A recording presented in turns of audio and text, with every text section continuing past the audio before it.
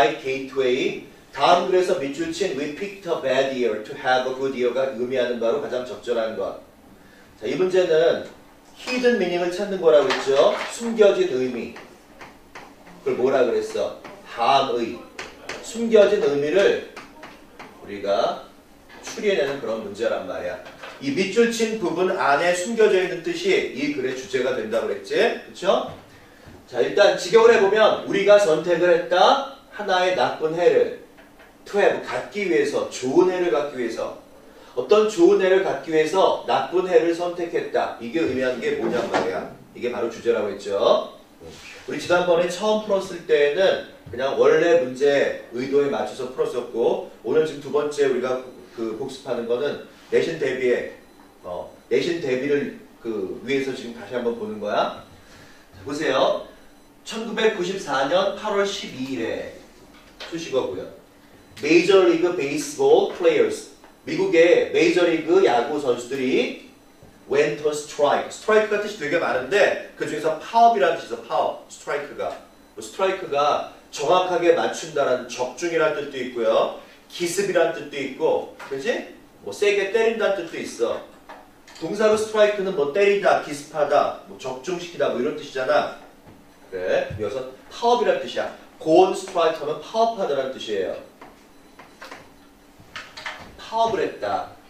자, 앞에 절이 나온 상태에서 컴마 다음에 ing가 나오면 이 ing는 동명사가 아니라 뭐라고? 현재 분사라고 그랬지. 그치? 지금 이 문장 구조가 분사 구문이란 말이야. 근데 현재 분사를 썼으니까 현재 분사는 능동의미를 나타내지. 능동태 분사 구문이야. 분사 구문에서 분사의 의미상의 주어는 뭐다? 그 절의 주어다. 그러니까 이 지금 bringing 이 현재 분사의 의미상의 주어는 뭐야? 주어니까 이 메이저리그 야구 선수들이죠. 선수들이 bring 가져온 거야. 능동이니까 현재 분사 쓴 거야. 근데 이걸 만약에 과거 분사 쓰면 야구 선수들이 가져온 게 아니라 야구 선수들이 데려온 게 아니라 데려가 짐을 당한 거야. 어. 그러니까 문맥에 맞지 않죠. 더군다나 여기 목적어가 있죠. 베이스볼이라는. 현재 분사는 능동 분사니까 목적어를 가질 수 있지만 과거 분사는 수동 분사니까 목적어를 가질 수가 없어. 그러니까 여기 해야 돼. 여기를 만약에 여기를 과거 분사인 쓰면 이렇게 하면 틀린다 그랬죠. 자, 문법 중요한 부분들을 어, 보라 색 깔로 좀 표시해 놨단 말이야. 자, 근데 뒤에 to a halt가 있어. halt는 뭐냐면 일시 멈춤, 중단 이런 뜻이야. 동사도 똑같이 생겼어요. halt. 그러니까 stop이랑 똑같은 말이에요. halt는. 그래서 관용적인 표현이야. bring 목적어 to a halt 하면 목적어를 중단으로 가져오다니까 목적어를 중단시키다지 뭐뭐를 중단시키다는 뜻이야 야구를 중단시키면서 for the rest rest 여기서는 휴식이 아니라 나머지겠죠 나머지 기간 동안 그 시즌에 그 시즌의 나머지 동안 야구를 중단시키면서 시즌이 그냥 중단돼서 중간에 어, 그리고 다음에로 넘어갔단 말이야. 그때 선 설명했죠? 그 파업. 주어 다음에 컴마가 나왔으니까 이 주어에 대한 동사는 또 하나의 컴마 뒤에 나오겠죠? 자, ended. 이게 동사란 말이야. 파업이 끝났다. 어? 근데 여기를 아까랑 반대인 거지. 아까 여기 있죠? 여기 분사 자리에 만약에 여기다가 동사 썼어. 이걸 만약에 brought 하면 동사도 되잖아. 동사가 안 되는 거고 과거 분사도 안 되거든. 어쨌든 이런 형태는 안 되는 거야. 만약에 brought이 동사로 나왔어? 하나의 주어가 두 개의 동사를 가질 수 없으니까 동사일 때 brought 안 되는 거고요. 과거 분사일 때 태가 반대가 되니까 안 된다고 그랬죠. 여기. 주로 이렇게 컴마 다음에 분사가 나온 경우가 많기 때문에 여기다가 이걸 착각을 불러일으키기 위해서 여기다가 이렇게 분사를 줄 수가 있어. 반대로 이게 안 되는 거. 여기 동사의 자리잖아요. ended. 파업이 끝났다 이렇게.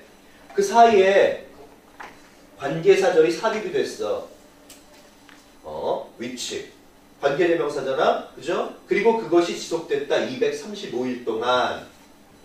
주격으로 쓰였죠. 그것이 지속됐어. 235일 동안. 음. 수식어 안에 또 수식어가 들어있죠. 이렇게. 그지? 235일 동안 그 파업은 지속됐어. 이 위치가 가리키는 게 뭐야? 더 스트라이크지. 그죠? 이 위치를 두 단어로 바꾸면 and 이시잖아. 관계 대명사는 접속사 더하기 대명사니까 접속사 가는 대명사니까 그치? 우리 좀 깨끗하게 다시 한번 써볼게 자 이게 어떻게 출제가 된다고? 여기를 대수로 바꿔 쓸 수 없고요 개수 교법이니까 이수로 바꿔 쓸 수 없어 이수로 만약에 쓰고 싶으면 아까처럼 and를 붙여야 돼 그지? 그 다음 작년에 우리가 속았던 것처럼 위치 앞에 따로 또 and를 이렇게 붙여놔 이러면 and가 반복되는 거니까 틀린 거라고 했죠. 이런 거 다 안 되는 것들이야. 조심. 235일 동안 지속됐던 그 파업이 끝났다. 4월에야.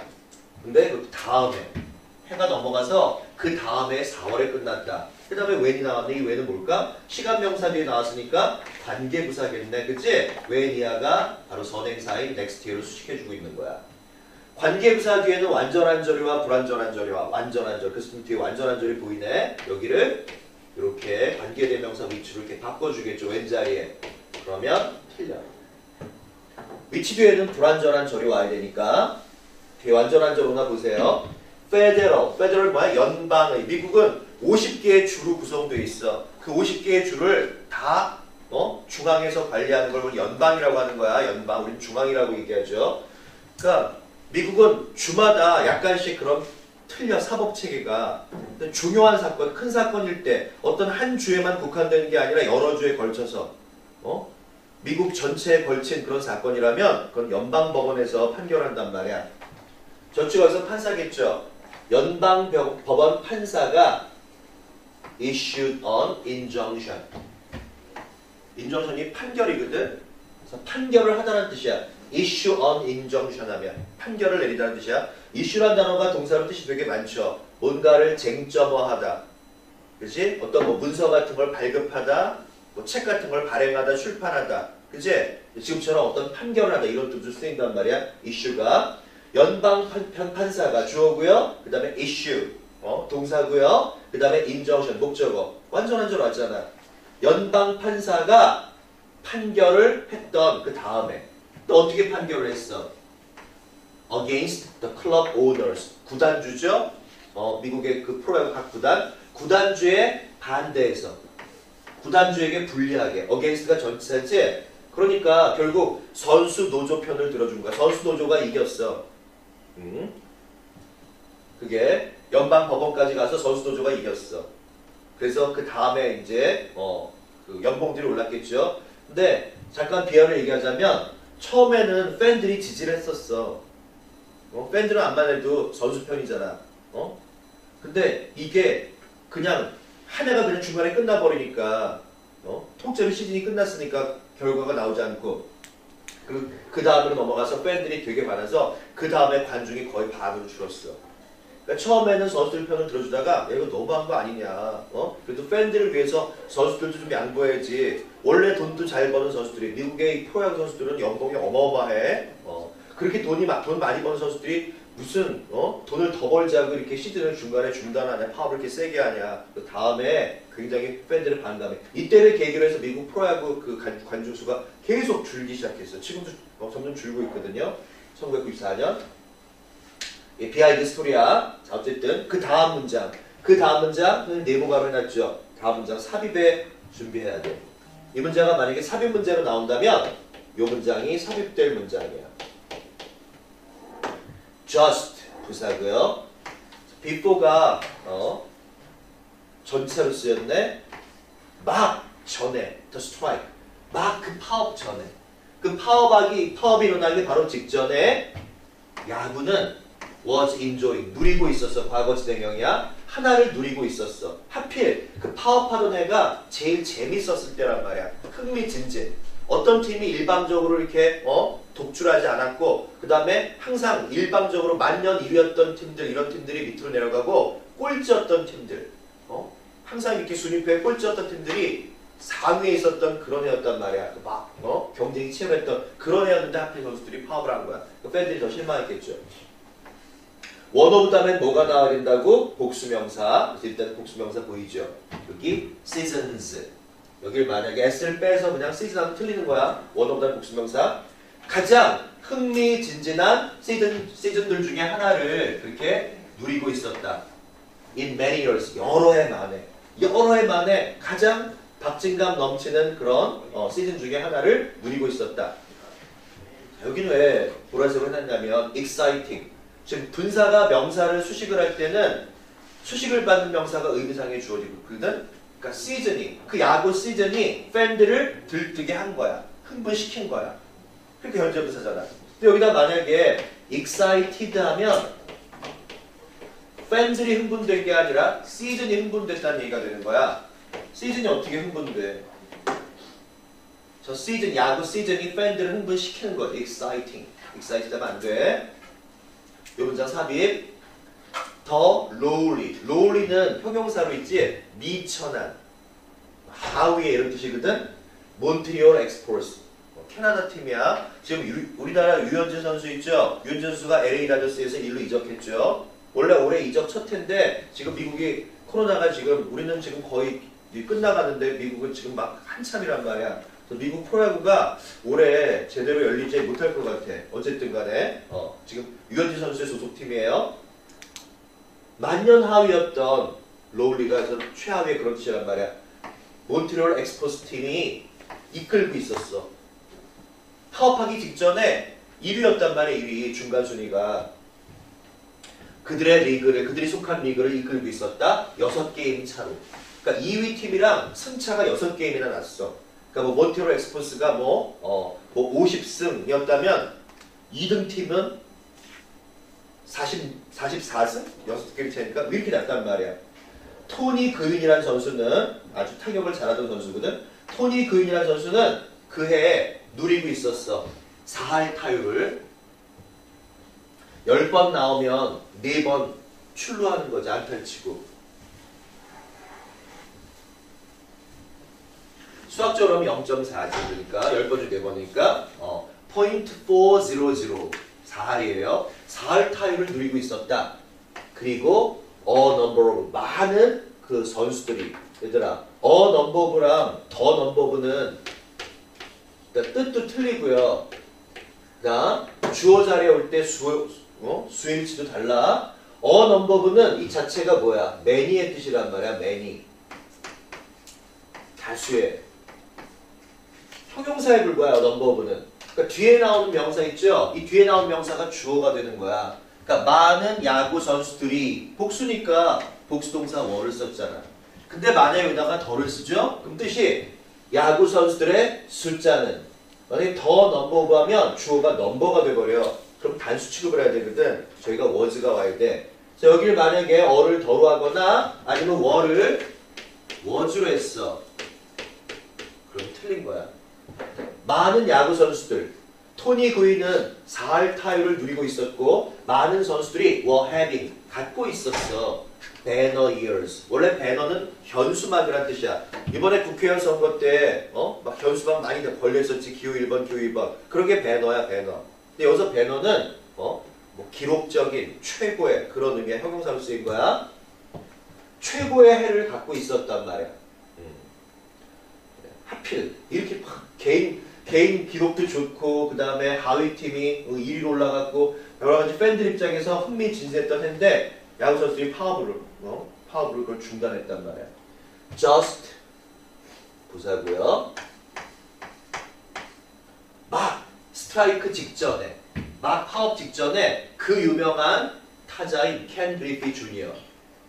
홈런 타자로 유명했어. 페임드는 페임의 명성인지 명성을 가진 유명하냐? 그 유명한 타자인 켄 그리피 주니어는 was asked 질문한 거야? 질문을 받은 거죠. was asked 질문을 받았어. 여기서 만약에 was를 뺐어. 그냥 asked 했어. 그러면 이켄 그리피 주니어가 질문했다가 그러잖아. 문맥이 반대가 되는 거야. 질문을 받은 거야. 기자들한테 질문 받았겠죠. 최고 타자니까, 홈런 타자니까. 그 당시에 최고로 인기 있던 선수였단 말이야. 이켄 그리피 주니어가. 그 유명한 타자인 켄 그리피 주니어가 질문을 받았어. What he thought. 그가 어떻게 생각하냐고. 맛이 목적어 역할을 하는 거죠. 그 우리말로는 직역을 하면 그가 무엇을 생각하냐고 이런 거네. 그치? 어. 근데 우리말로 해석할 때는 어떻게죠? 어떻게 그가 생각하냐고. 뭐에 대해서? About the upcoming strike. upcoming은 다가오는 그 말이야. 다가오는 그런 파업에 대해서 그가 어떤 생각을 갖는지를 질문 받았단 말이야. 이거 앞에서 파업 직전이라고 했죠? 파업 직전에 한 인터뷰니까 이제 곧 선수 노조가 파업할 예정이라는데 그 파업에 대해서 어떻게 생각하십니까? 최고 인기 선수한테 물어봤단 말이야. 음. 더군다나 기록도 좋고 하니까. 당신 지금 어 그때 그때까지만 해도 홈런 1위였을까 그랬을까 아마 이 선수가 아니 지금 파업하면 이 홈런 기록이 중단될 텐데 어떻게 어 어쩌죠? 네. especially 특히 이렇게 나오네. 특히 since가 접속사로 써요. 특히 그가 켄 그리피 주니어와 그리고 매우 많은 다른 야구 선수들 아까 토니 그윈도 나왔었죠. 그와 많은 다른 선수들이 were doing so well 매우 잘하고 있었기 때문에 아니 이렇게 기록도 좋은데 파업해서 만약에 리가 중단되면 이 기록들이 다 무효가 될 텐데 어 어떻게 그래도 파업에 찬성하십니까? 이렇게 물어봤단 말이야. 그랬더니 어 케니피 주니어가 역시 스타 선수답게 선수들 위해서 자기 그 당시에 연봉 1위였어요. 돈 제일 많이 벌었단 말이야. 음. 근데 뭐 이 선수 입장에서는 자기 연봉을 더 올려고 한 것보다 어? 그 미국 그 프로 선수들 있잖아 극과 극이야 상위권이랑 하위권이 있죠 연봉 차이가 뭐 어? 엄청나게 차이가 난단 말이야 그래서 연봉을 작게 받는 선수들 위해서 뭐 파업을 한 거야 원래는 그래서 그는 대답을 했어요 다음과 같이 우리는 선택했어요 우리는 바로 선수 노조를 말하는 거야 우리는 나쁜 애를 선택했습니다 좋은 애를 갖기 위해서 그래. 이 나쁜 애는 뭘 말하는 거야? 파업하던 1994년을 말하는 거죠. 1994년. 이 다음에는 1995년. 우리가 어, 내년에 더 좋은 선수 노조가 전부 다 이렇게 행복을 누릴 수 있는 그런 해를 갖기 위해서 어, 올해를 나쁜 해로 선택했습니다. 비록 저는 성적이 좋지만 제가 제 성적을 포기할 준비가 돼 있어요. 이렇게 얘기한 거란 말이야. 그래. 좋은 해를 갖기 위해서 올해 비록 내 성적은 좋지만 올해를 갖다가 그렇게 포기하기로 선택했습니다. 이렇게 얘기한 거란 말이야. 자 여기에 담겨진 뜻이 뭐였어요? 그래서 원래 답은요. 원래 답은 2번이었잖아. 그지? 파업을 위해서 우리는 희생하고 있는 중이다. sacrifice가 명사로 희생, 동사를 희생시키다 했지? 파업을 위해서 우리는 훌륭한 시즌을 지금 희생하고 있는 중이다. 여기가 어, 이 밑줄 침번에 담겨있듯이 이거였단 말이야. 자 일단 이 문제는요. 출제 확률은 그렇게 높지 않아. 첫 번째 문법 나올 수 있고요. 문법 문제는 어디나 다 나올 수 있어. 두 번째 내용 일치가 나올 수도 있어. 다음 글의 내용과 일치하는 것, 일치하지 않는 것. 내용을 정확하게 봐둬야 돼. 그래. 세 번째 요 문장 있잖아. 삽입. 그지? 삽입 문장으로 나올 수 있죠. 나올 수 있는 거딱 요거 세 개. 낼게 별로 없기 때문에 출제 확률이 그냥 50% 정도 된다는 거야. 문법, 그 다음에 내용 일치, 그리고 삽입. 음. 제목은 이런 노조의 파업이죠. 1994년도에 노조의 파업 사태. 출제 확률은 그냥 반 정도.